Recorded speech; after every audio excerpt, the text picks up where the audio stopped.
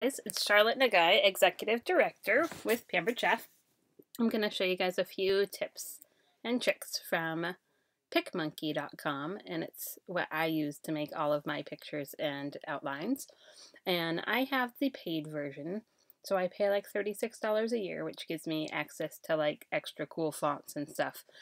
Since a lot of you won't have the paid version, I'm just going to do it in the normal unpaid so you can do a free trial. If you have a paid version, you log in.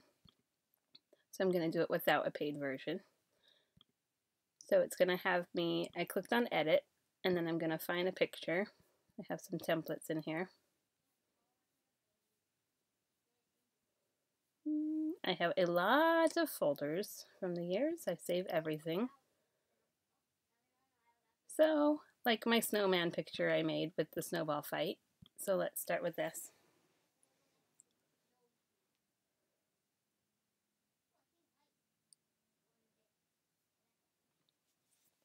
So then it opens up.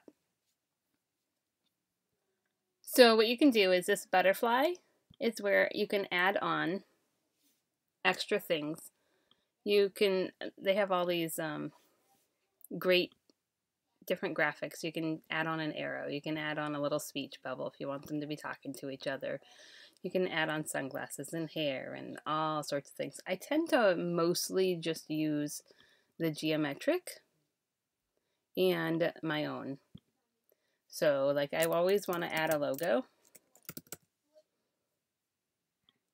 So I always add like the happy spoon to the graphics. And I like to do this so that other direct sellers don't take my image and then just crop out Pampered Chef and make it their own. So I on all my pictures um, that I've made in the past few months, you'll see this. I put the happy spoon and then I change this to darken so it takes away the background.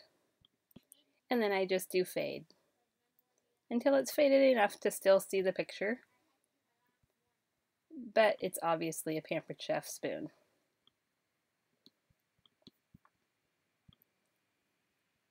So you can do the same thing with the logo that says Independent Consultant.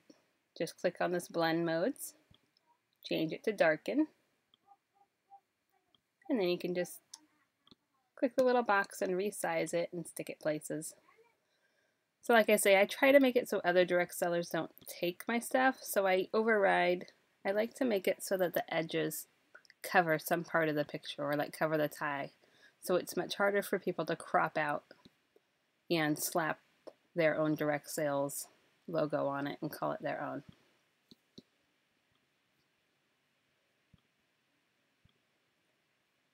So like this little said this little chef's hat on this guy because he has no hat. So again, we're going to go over here to blend modes and change it to darken.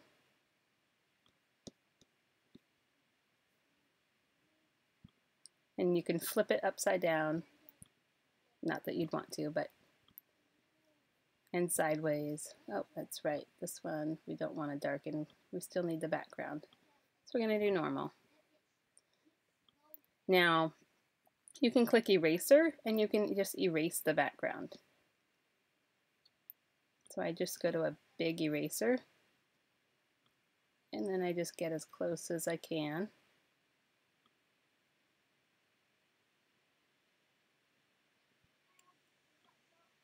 And erase this.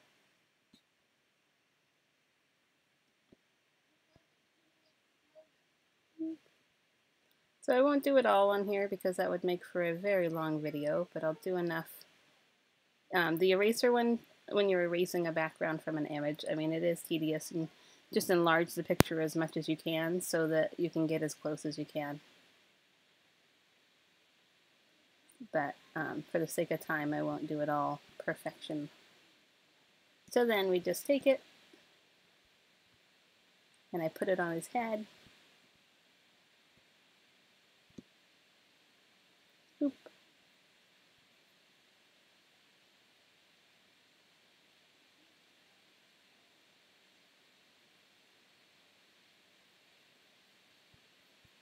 And now he has his own little hat, which, like I say, I would, I would spend a little more time making it a little more perfect if it wasn't a long video. So now I like to add these geometric, geometric.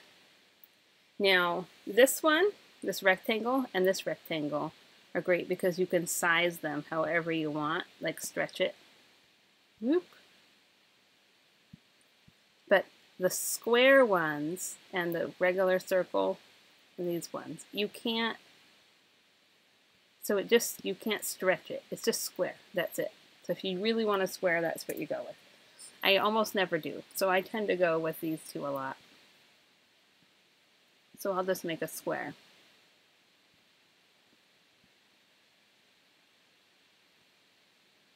And then I just change the color. Like, let's say, if you click the color, and then you click this little um, dropper, you can pick a color from your picture. So, because I like to match pictures, or colors. Then I can just fade it a bit.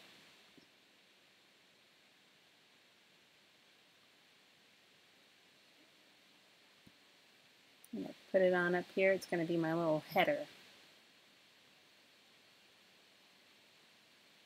So now I'll go put some text on. And since this is the free version, I don't have as much. These crowns are going to mean that they're only available for the paid version. So let's just pick one. And then we'll just type snowball fight.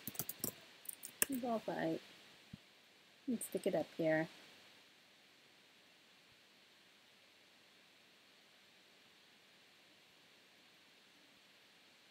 Make it a little bigger. And then if you stretch the text box to the edges, and then this, if you're familiar with Word and things, if you click left, it's left aligned, right is right aligned, and middle is just centered. So that's generally I center things in the box.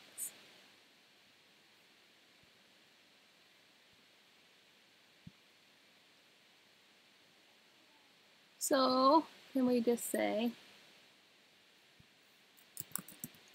Give it.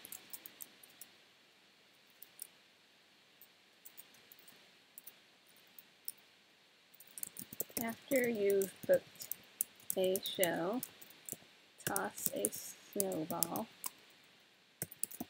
at another team member by tagging them. I can't remember what I said in my original post that I made this.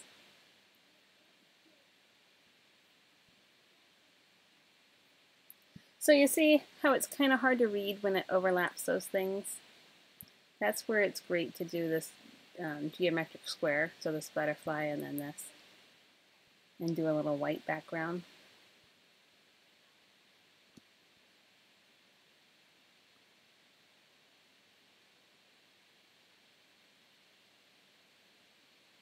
So you fade it, and then if you right click on it and send it to the back, it'll go behind the text. So the back means it's all the way back there. Everything else is in front of it. And so it helps it show up a bit better and be a little more readable.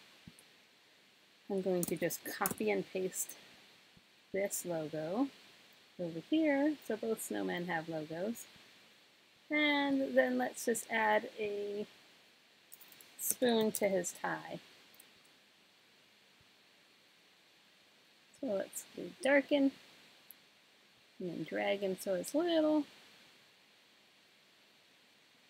And then click this little circle so we can tilt it. And I'll fade it a little. And so then you've made a picture.